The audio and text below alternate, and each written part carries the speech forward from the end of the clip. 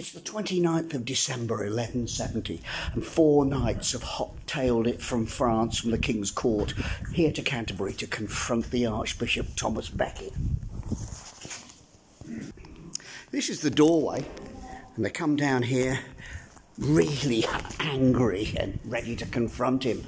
They're walking through the cloisters, and uh, there's monks gathering around and knowing that something dramatic is about to happen and heading for this door here. This is the doorway.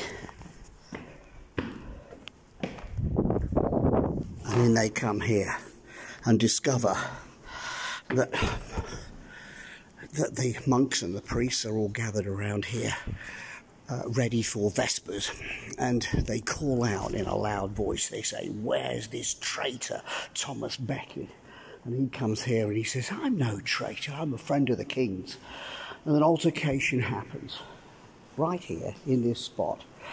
And one of the knights draws his sword and uh, cuts off the top of Thomas's head. I mean, that's gruesome, whatever.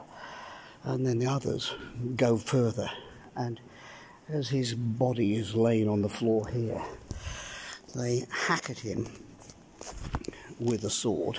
The sword breaks on the stone, and uh, they say, That's it, let's leave. That man's never going to move again. And you go, All this has happened. And about the same time it's taken for you to hear this story now. And this is the exact spot where Thomas is martyred. They've got a sculpture up here showing the sword broken. Yikes. Ooh, uh.